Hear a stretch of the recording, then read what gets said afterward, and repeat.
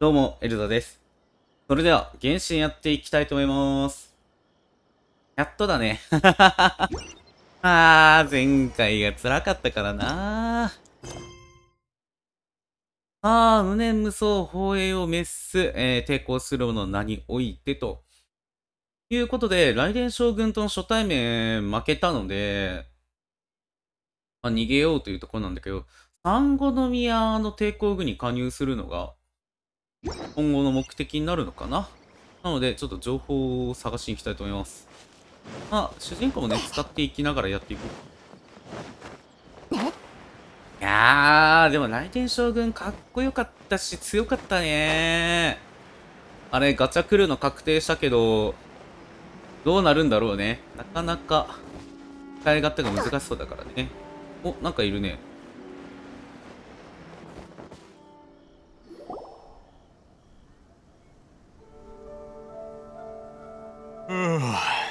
聞いたか？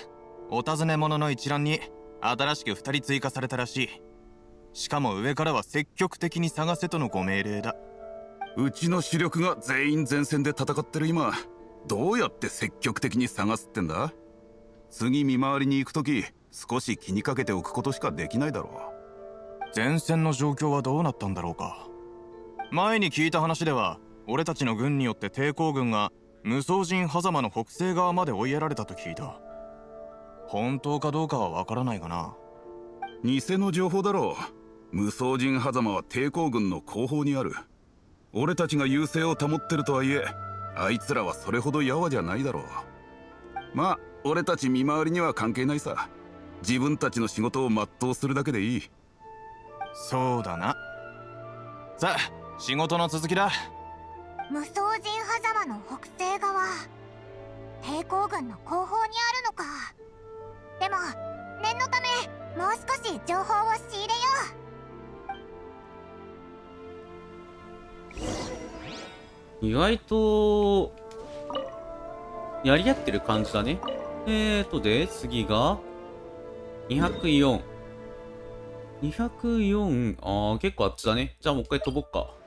お、いるね。情報聞こうか。あれ、反、抵抗軍？反乱軍っていうかね。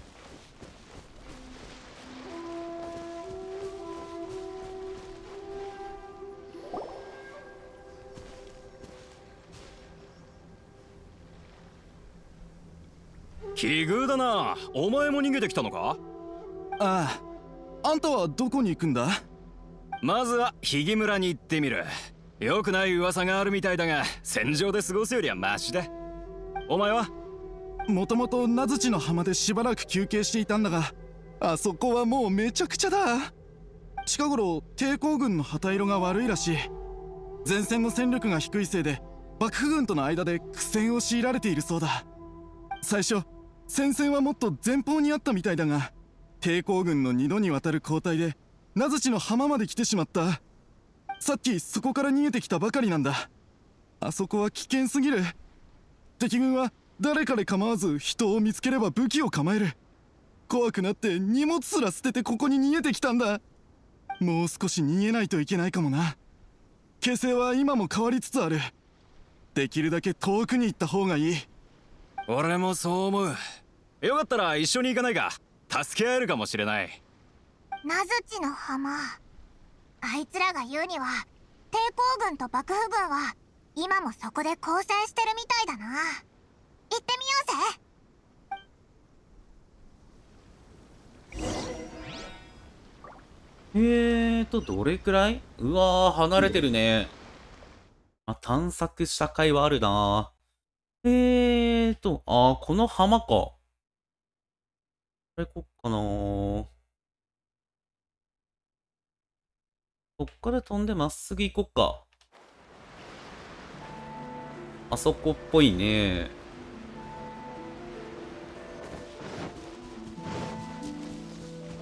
見ろよ抵抗軍の人じゃないか？なんか困ってるみたいだぞ。助けに行ってみよ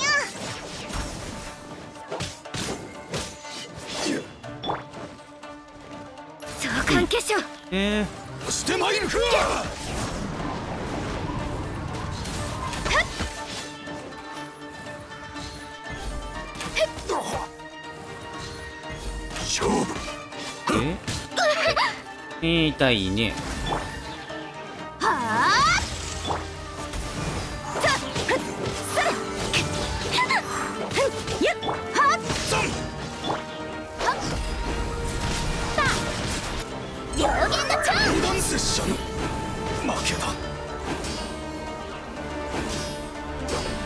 い修練うん足りなかったかあり程度だったらいけるねボス対策やな。あ助かった。さっきは死ぬかと思ったよ。助けてくれてありがとう。僕は抵抗軍車庫小隊隊員鉄平だ。最近前線に配置されたばかりでやっと手柄を立てられると思ってたのに。まさかこんなところでつまずくなんて情けないところを見せてしまった。それよりも君たちの格好抵抗軍には見えないな。新しく抵抗軍に加入しに来たのか？もちろんです。よかった。ちょうど何日か前に五郎様が人手不足について話してたんだ。助かったよ。僕が抵抗軍の軍営に連れて行ってあげるよ。でもその前にまずは抵抗軍の現状を話しておこう。君たちも見ての通り僕たち抵抗軍は戦場で劣勢を強いられている幕府軍は永遠という目標を掲げ天領奉行の大将九条沙羅が率いている。実力は計り知れない。それに引き換えこちらはメガリレーのせいでただでさえ神の目を持つ者が少ないんだ。今こうして何とか保っているのは三五宮様が建てた数々の妙計奇策。それと五郎様と抵抗軍兵士たちによる奮闘のおかげさ。はあ。僕にも神の目があればどんなに良かったことか。神の目さえあれば三五宮様と五郎様の力になれる。それに戦場でも手柄を立てられただろう。そうだ。さっき君が元素力を使うのを見たけど神の目を持ってるのか。持ってはいない。こいつは特別なんだ。神の目を使わなくても元素力が使える。本当か？すごいじゃないか？それってメガリレーは君にとって全く影響がないってことだろ？頼む！一緒に五郎様のところに来てくれ！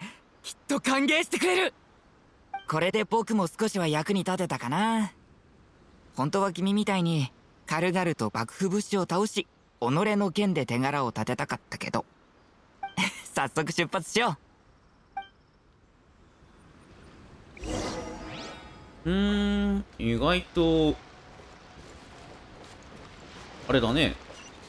やすやすと受け入れてくれたね。あ人次第ってところかな。えーとあーそこだったのか。鳥でね。あ飛んでこっから移動しようか。あー近くまで来たよ。さっきの兵士と似たような格好してるね。いろいろ散策はしてたけどそういうことだったんだね。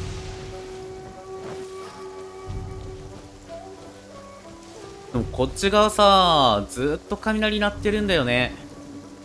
あー帝国軍に対して神罰をずっと送ってるって感じか。雷をね。なるほどね。じゃあお邪魔しよう。あの辺りかな？でもそんな簡単に入って何も言われないわけっていうことはあるのかな？文句言われそうな気がするけど。あれ？フォローっていうからてっきりごつい人かと思ったけど違う感じがするね。というわけです五郎様。僕が幕府武士に囲まれていたところこの二人が助けてくれました。それにこの人は神の目を使わなくとも元素力が使えてとても強い。どうかこの二人を抵抗軍に加入させてください。うん。お前たちも聞いたように抵抗軍の目的は幕府軍を倒しメガリレーを廃止することだ。決して楽な仕事じゃない。戦場に踏み入れた者は誰であろうと犠牲になる可能性がある。軍に入りたいと思う理由を言ってみろ。戦う意志のない者を抵抗軍に入れるわけにはいかないきちんと自分の考えを持っている方がこっちも助かる意外とゴロいい声やった 意外すぎるな、これ。そっか猫耳の男キャラはなかなかイメージなかったな。えー、100個目の神の目について。100個目の神の目を奪うメガリ儀式のことか稲妻城で起きたことだがこっちの耳にも入ってきている。儀式に邪魔が入ったらしい。妙だな。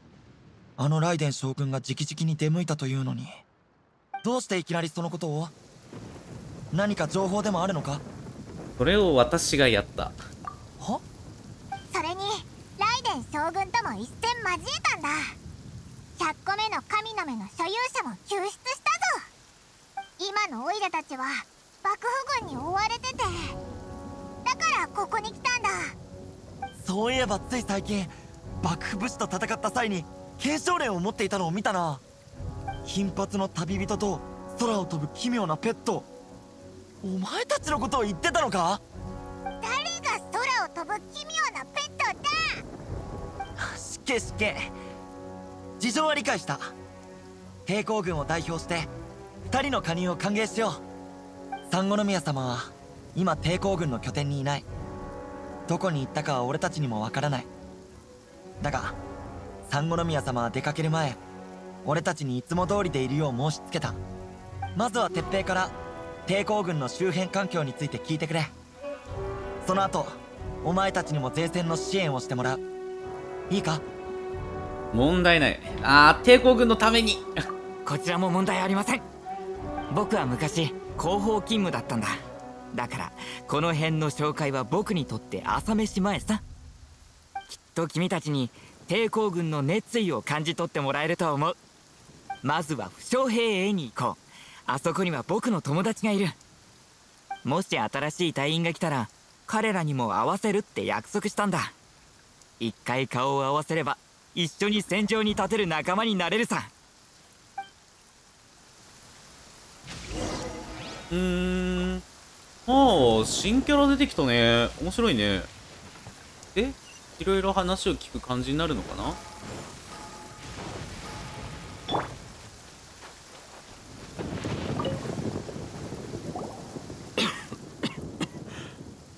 この人が新しい隊員か？見るからに強そうだ。傷が治ったら手合わせしてほしいもんだぜ。待て待て新入りにいきなり勝負を挑むやつがいるか。それにその傷。治るには半月かかるだろう。てっぺこの人はお前が連れてきたのか？お前は前線でうまくやれてるか？ふふん確かに幕府軍は僕たちの想像よりはるかに強かったけどそれでも僕は自分のできることを最大限こなした。あの時幕府軍は洪水のように迫ってきていた。しかし僕はおじけづくどころか剣を抜いて立ち向かった。一人で4人もの幕府武士を相手にしたんだぞ。おいおいやるじゃねえかお前。いつの間にそんなできるようになったんだ。この人はもっとすごいぞ。僕が力尽きて倒れそうになった時突然横から飛び出してきて何人もの幕府武士を倒したんだ。それに100個目の神の目のメガリ儀式も阻止したんだぞ。ライデン将軍ですら何もできなかったみたいだすごいなお前ら。だが他のはまだ信じられるがライデン将軍に正面から立ち向かったのは少し誇張しすぎじゃないか？無双の人たちを聞いたことないわけじゃないだろ？まあともかく最近は負け戦が多くてもうダメかと思ってた。だが新入りも鉄平も想像してたより頼もしいみたいだな。傷を早く治して前線に戻らないと。そんな覚悟じゃ生ぬるい。俺は今も傷を負ったまま訓練してる。昨日は傷口が開いてしまったが。傷薬を探してこようか？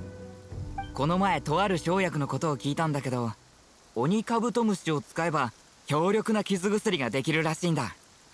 塗った後はひんやりして傷口の治りも早くなるとか。それをくれなんか変な気もするな。普通にググプラムでいいんじゃないか？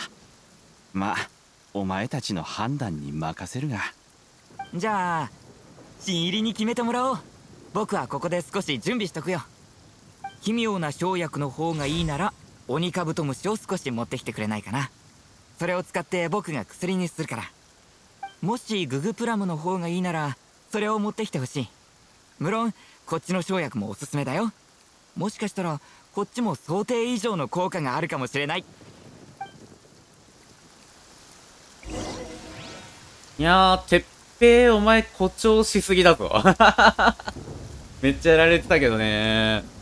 ただ、どっち渡そうか。ググプラムかな。どっちも電気だよね。お疲れどえー、ググプラム。もう大量あるからね。まあ、針。これはだってさこ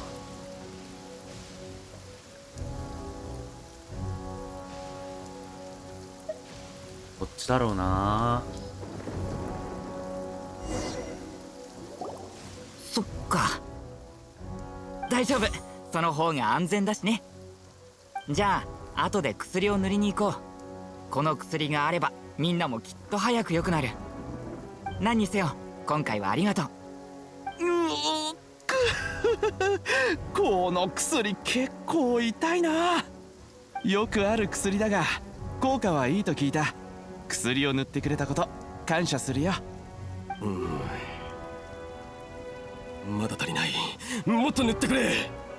今からお前たちと一緒に戦うのが待ちきれない。たくさん塗っても早く治ることはない。お前は深夜こっそり訓練する癖を直せ。ありがとうてっぺそれと新入りも。そうだ。今訓練営で射撃訓練を行ってるみたいだから新入りと一緒に見に行ってみろよ。あそこなら抵抗軍の兵士もたくさんいるし新入りが溶け込む手助けにもなるだろう。分かった。任せてよ。早速行ってみよう。ああまた当たらなかった。くそさっき数えたけど10本打って1本しか1本しか中心に当たらなかったのか？1本しか的に当たらなかった。嘘だろ？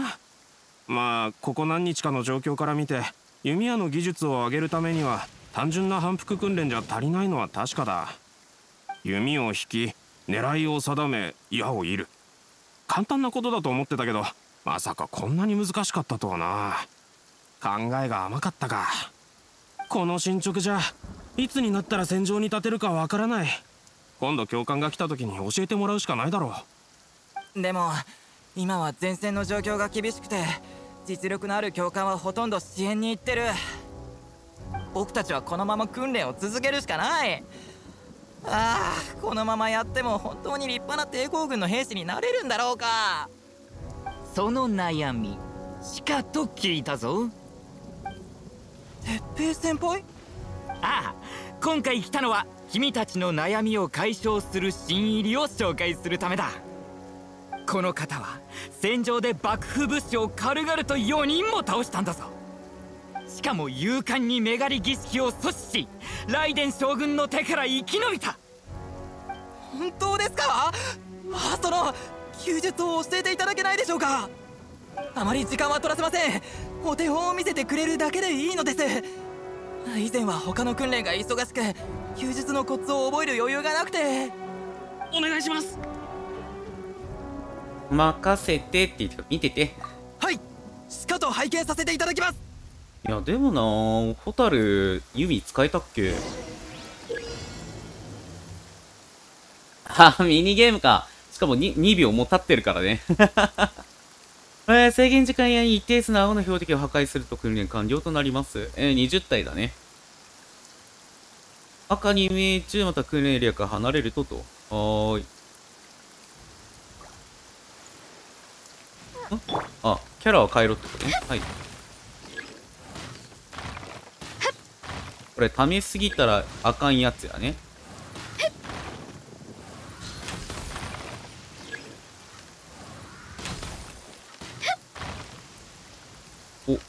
当たってない。ほい。ほい。ほい。ほい。ほい。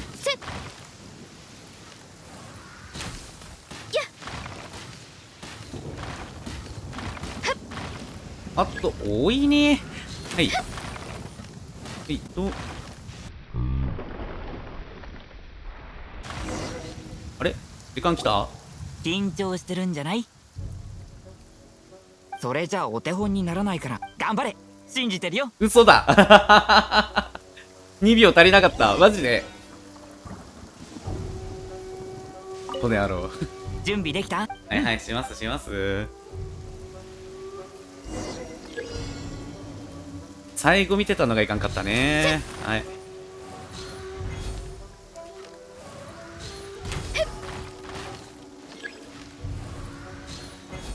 さもうさ。ああそういうことね。はいはいはい。緊張してるんじゃない？それじゃあお頑張れ。これダメだ。あのー、ターン使うとターン使うと暴発するね あーそれは意外だったなー。じゃ。公女の名のもとに。じゃあフィッシュリでいこう準備一緒のこと起きそうだけどね。今回。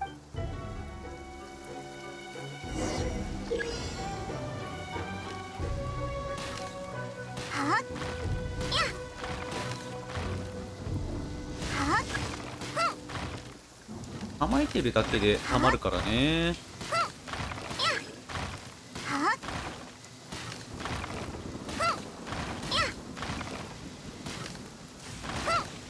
おい雷緊張してる。それじゃあお手頑張れ。待って。待って。雷は今のピンポイントすぎるやろ。あーいくらな？でも。大丈夫です。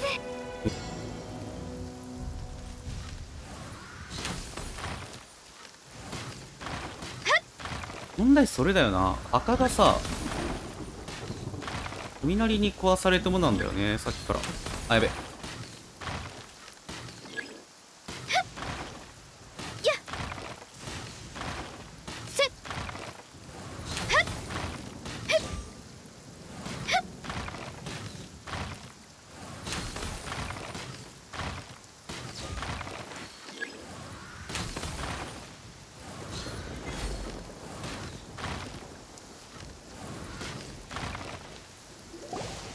どうだ。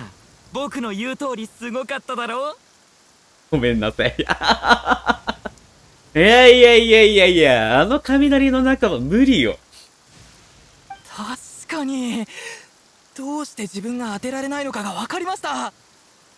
姿勢が正しくない力が足りてない弓を握る手が安定してない環境の影響を考慮してない。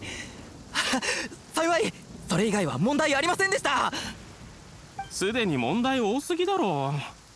うしかしお手本を見られてとても勉強になりました。今回それを見て上達への道を見出すことができました。それに沿って努力を続ければきっと強くなれると思います。実は戦争が始まる前自分は渡積島の一般人でした。当時は妻と穏やかに暮らし争いとは全く無縁の生活を送っていましたがメガリレーが敷かれてから全てが変わりました。幕府軍のやり方は納得できません。その思いを一身に抵抗軍に入りました。どうやらまだまだ進むべき道は長いみたいですが神の目がなく戦いの才能もない我々は本当に皆さんのように戦場で活躍できるのでしょうか。今はこんなこと考えてても仕方ありません。助けていただきありがとうございます。では練習の続きを行ってまいります。そう深く考えるな。前線には僕たちがいる。安心して訓練するといい。さあ他の場所に行こう。どこに行こうか。うん。大変だ！幕府軍の奇襲だ！軍営には負傷兵がたくさんいる。幕府軍に入られるわけにはいかない。お前たちも来てくれ！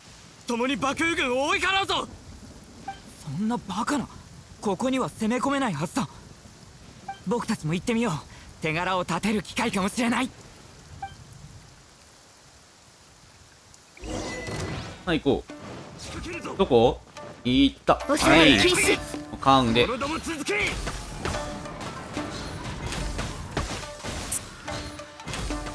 血のりを生かそう。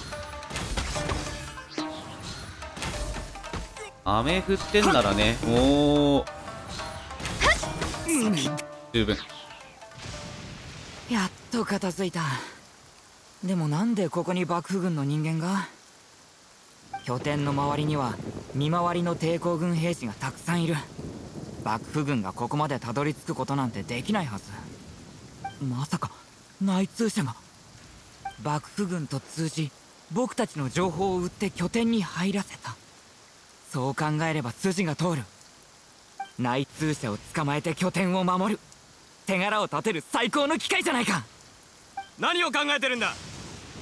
さっき拠点の周りを調査したところ拠点近くにある壁が崩壊してた。幕府軍はきっとそれを利用したんだろう。近くの崖から登り穴の開いた壁から拠点へ攻め込んだんだ。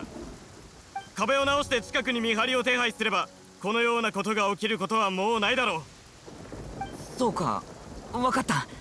近くに木材と縄があるから僕たちが直すよ勝負と行こうじゃないか新入り。こう見えても後方勤務には自信があるんだ。先輩の頼もしいところを見せてやるぜ。いきなり？はいはいはい。よっはい。何何何するよっ。価格で材料を集めるって書いてあるけどえ材料材料ある？あーあったあったあったあった。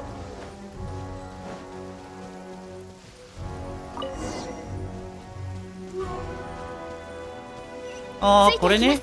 あえここの話今の？よしこれで問題ないはずだ。幕府軍のやつら翼が生えて飛べるようになったとしても侵入できると思うなよこれで僕も抵抗軍に少しは貢献できたかな。でもなんで後方勤務ばっかりなんだよ。せっかく前線に移動になって人生の軌道に乗ったと思ったのに。昔と同じ生活に戻ってるじゃないか。なんかお前妙に前線にこだわってるな。五郎様が言うように僕たちは皆戦う意志があって抵抗軍に加入したんだ貢献する方法はいろいろあるけどできることならこの手で幕府武士を倒したいだろ？そうだ。もう軍営回りは終わったからこれから五郎様のところに行こう。うまくいけば前線の作戦任務を引き受けることができるかもしれない。うーんまあでもね無駄死にしそうなタイプだよね、まあとりあえず五郎ちゃんのところに行って話を聞こうか。なんか前線に行くのかな？もしかしたらね。の弓の腕前で行く？いやーミニゲーマーマジで恨むわもう。おかしいな。五郎様はいないのか？少し状況が変わった。五郎様は今前線で兵を率いて出向いている。少し前に前線にいきなり幕府軍の増援が現れたんだ。それも九条沙羅直々に隊を率いている。それに引き換えこっちは三五宮様はもう何日も顔を出してない上に残してくれた虎の巻の中身もそろそろ底を尽きる。非常に不利な状況だ。このまま撤退すれば我々の士気に壊滅的な打撃を与える。今は五郎様が形勢を挽回してくれることを祈るしかない。この戦いはおそらく厳しいものとなるだろう。僕たちも前線に行こう。戦う力がある以上ここで黙って見てるわけにはいかない。幕府軍にタタラスナを通過させてなるものか。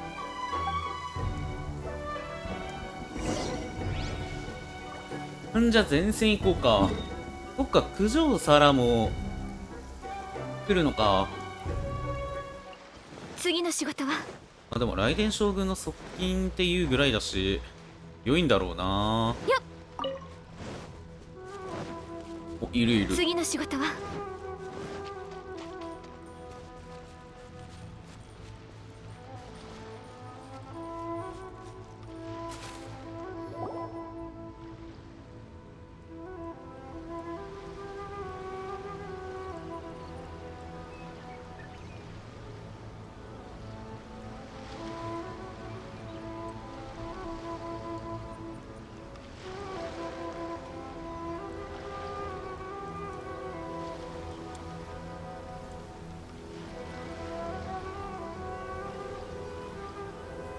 お前だけか。私はてっきりお前らの軍師様に会えると思ってたが彼女には我々幕府軍もかなり手を焼かされた。抵抗軍がここまで持ちこたえたのも彼女のおかげだろう。だがそれも終わりだ。これだけの戦力差。策略はもはや意味をなさない。すでに抵抗軍の底は知れた。将軍様に逆らう者にはそれ相応の罰を受けてもらおう。俺は三五宮様を信じてる。俺たち抵抗軍の兵士たちを信じてる。ネガリレーは正しい道なんかじゃない。俺たちは抵抗をやめない。いいだろう。それとお前たちも最新の検証例を見ただろう。あの金髪の旅人。今お前たちのところにいるはずだ。そいつを渡してくれるのなら息をつかせるくらいの時間はやろう。この時期に戦うのは双方にとっていい選択ではないからな。まさかそのために増援を。彼女は将軍様にとって重要な存在なんだ。抵抗軍にとっては不要であると私は思うがな。それは違う。彼女は抵抗軍にとっても重要な存在だ。彼女はもう抵抗軍に入り俺の部下になっている。お前らに差し出すことはできない抵抗軍は仲間を撃ってはならない。それが三五宮様がはるか前に決めた規則だ。五郎様。てっぺそれにお前もどうしてきたんだ？手伝いに来た。分かった。共に戦おう。また会ったな。今回は見逃してやらんぞ。お前が抵抗軍に入ったのは彼らの後ろに隠れるためだと思ってたがここに現れたということは私の想像以上に勇敢であるということか。ならばこちらから提案がある。今回の人前秘部お前が抵抗軍を代表して出陣するというのはどうだ？人前秘部なんだそれ。戦いが始まる前に両軍から精鋭を選び1名ずつで対決を行っていくことだ。優勢な方にとってあまり意味のないことだが劣勢な立場であれば士気を立て直す絶好の機会。だが彼女の目的は明らかなものだ。これを機にお前を捕まえたいのだろう。無理はするな。このまま全員で戦いを始めても構わない。どうするんだ旅人お前が決めてくれ。が悪いと思うんだよね。私は負けない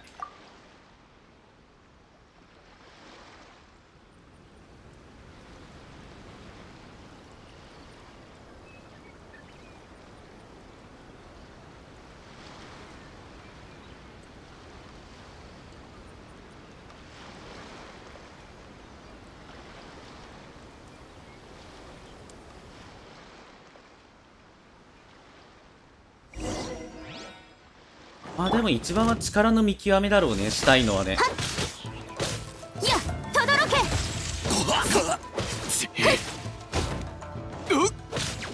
いや部外石いや。先に行くぞ。お二人目。あ連戦。連戦なの？永遠の脅威となる全ての要素を排除する。それが将軍様の命令だ。気をつけろ。向こうにいるやつも強いぞ。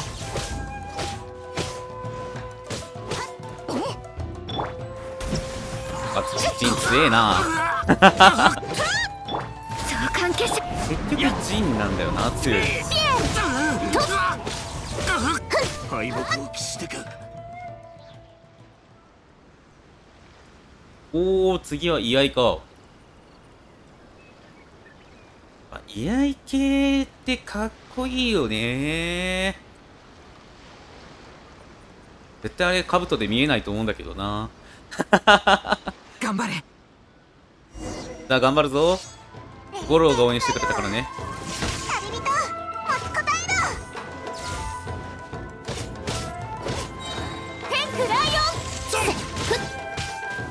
ろ天空ライオン。天空ライオンああおさわり禁止と支してまいれいってらっしゃ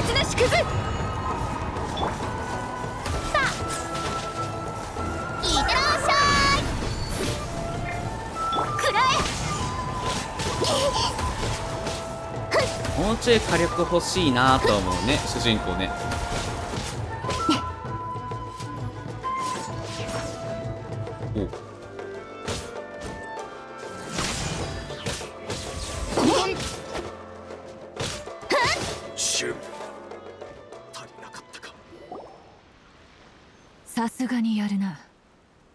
どうやらこのまま戦っても意味がないみたいだ。兵士たちよかかれ！浄土を開口せしは永遠なる鳴神なり！どうやら戦いは避けられないようだな。迎え撃つと皆の者俺に続け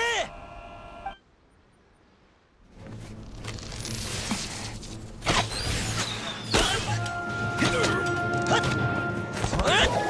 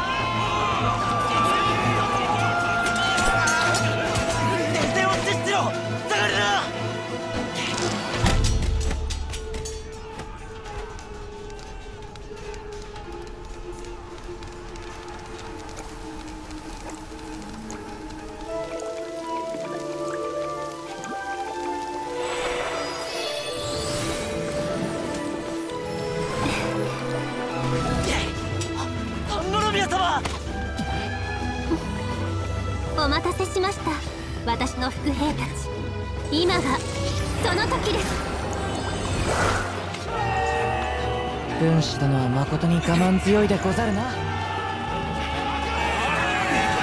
傭兵代を払ってもらえるといいんだがな。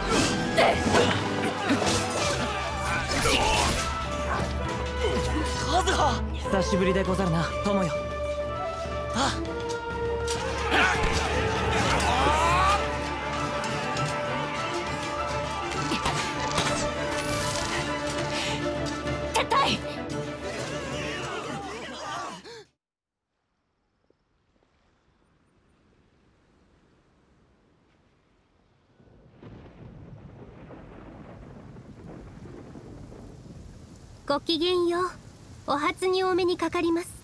まずは自己紹介をしましょう。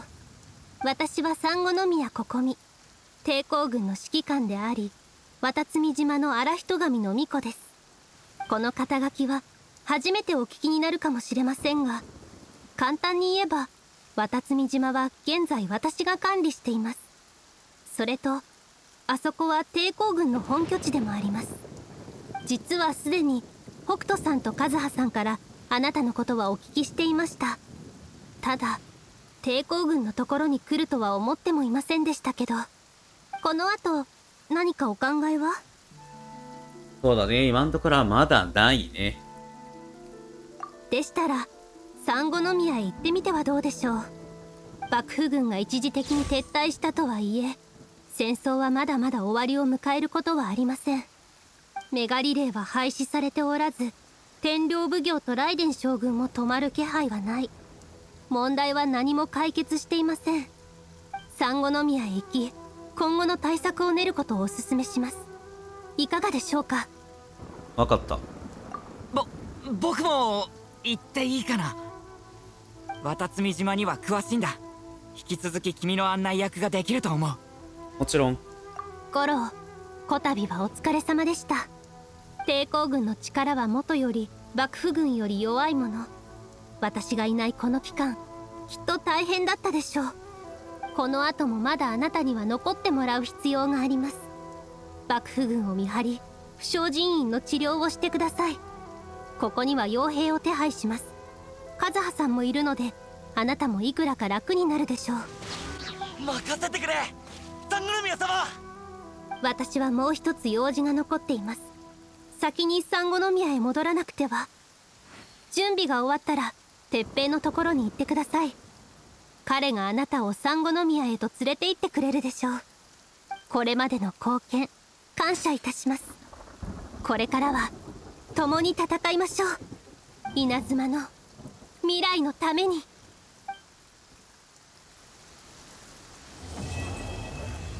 胸無双放映メス。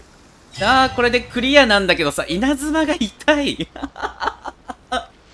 稲妻が痛いんだってなんだろうな途中でねストーリー上会話入れるのなと思って黙ってたけどさ。めっちゃ音切って笑ってたわ。仲間外れみたいになったっちね。いやなってたね。ねえー、カズハと北斗が行ってるんだね。来る途中にお主の検証令を見かけたがそうたやすく捕まるものではないと知っていたでござるよ。ライデン将軍に会ったのでござるか？彼女は以前と同じように威圧感に満ちていたであろう無双の人たち。こうも及ばぬものか。いつの日か拙者たちもあの威圧感に相対することができるやもしれぬ。これも拙者が稲妻へと帰る目的でござるよ。あ、そういえば、カズハは五郎と友達って言ってたね。あ、北斗姉さん。音も立てずにこんな待ち伏せができるのはうちの市長整合ぐらいだ。どうだ？びっくりしただろ？う実を言うと私もさ。あんたを離島に送ってからまさかタタラスナでまた会うとはな。だがどこにいようとあんたが私の仲間だってことには変わりない。何か助けが必要なら私に頼れ。あんたの力になってやる。いやー、北斗姉さんはいいよね。すがすがしい。で、五郎ちゃん。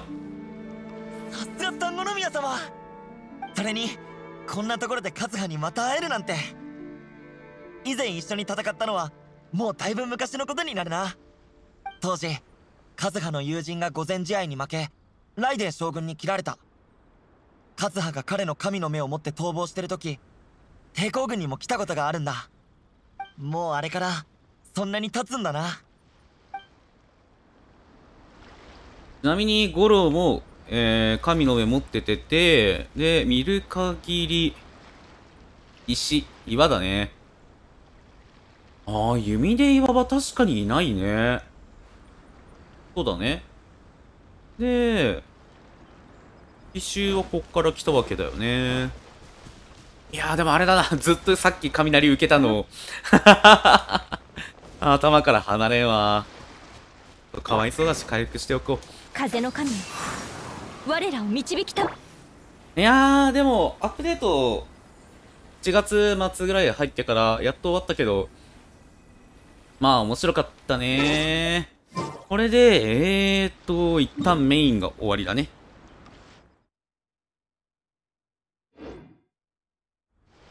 バージョン2.0ってところか、が終わって、次、えー、2.1が始まるわけか。で、2.1は、えーと、9月の予定だっけ？多分1周年記念とかそこと合わせると思うし、Twitter でも、ライデン将軍、九条サラ、あと三五宮は、えー、もうキャラとして出るような感じが流れてたから、公式から。楽しみだね。ちょっとライデン将軍はね、ガチャを、準備はできてるのよ。とりあえず今、無課金なんで、無課金なんでね、とりあえずできる限り、貯めてるけど、あー、9月入るまでには30連分は貯まるんじゃないかな。ガチャもやってみようかな。せっかくなんでね。いやー、吹っ飛んだのは面白かった。はい。ということで、えー、ここまでご視聴ありがとうございました。えー、良ければチャンネル登録、高評価、ぜひよろしくお願いいたします。それでは、また次回のアップデート後お会いしましょう。ほんじゃ、またねー。